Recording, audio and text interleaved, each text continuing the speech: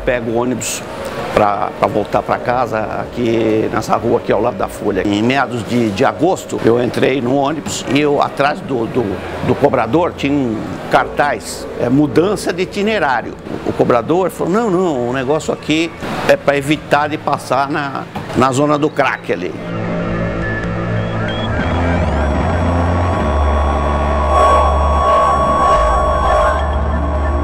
Eles tomam conta mesmo da via pública. É uma multidão de gente que você não tem onde andar.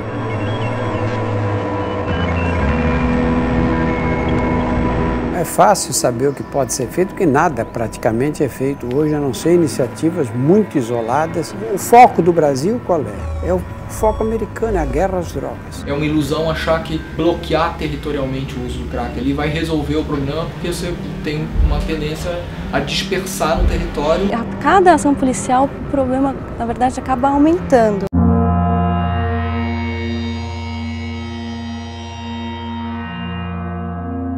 É uma omissão criminosa. Nenhum país desenvolvido toleraria a Cracolândia como a gente tolera aqui na cidade de São Paulo. A internação involuntária ela ocorre o tempo todo, principalmente para as pessoas que têm recursos. Só não ocorre para as pessoas mais pobres. Nós trabalhamos com 27 equipes de estratégia de saúde da família, no sentido de fazer o vínculo e trazê-las para dentro da rede de saúde.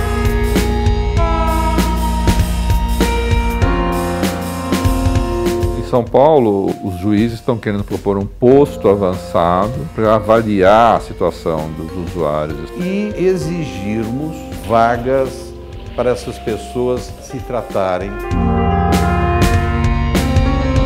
Não é que eles são marginais, malandros, que preferem ficar fumando crack. São doentes, são dependentes. Para conseguir dormir, eu tinha que usar.